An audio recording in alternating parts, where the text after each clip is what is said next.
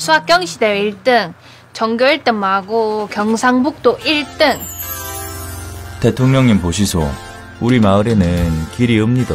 진짜로 차가 다니는 길이 없고 기찻길만 있는데 간이역 하나만 만들어 주시소. 니 아버지한테 인사도 안 하나?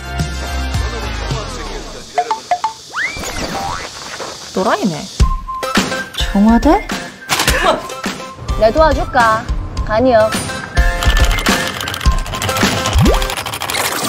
아니 간이역이랑 뭔 상관이로 이게? 현질한 게 말이다. 아주 델리케이트한 건데. 우주 나오는 책만 보지 말고 이런 것도 좀 읽어라. 아, 내 남자의 남자? 어, 왜 그런 거 아니래?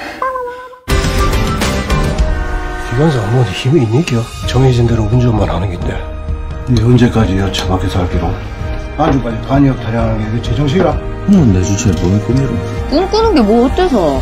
그냥 만드시도. 야 우리가 지부시도. 준경 학생 이야기를 기사로 한번 실어볼까 해서 준경이는요 보통 아이가 아닙니다.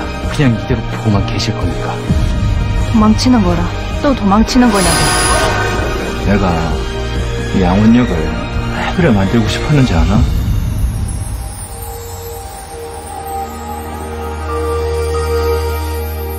술은 아버지한테 배운 길에 어른하고 마실 때는 잔을 돌려서 마시는 길에 몸을 이래 돌리라고 몸을 몸을 몸을. 아이고 야야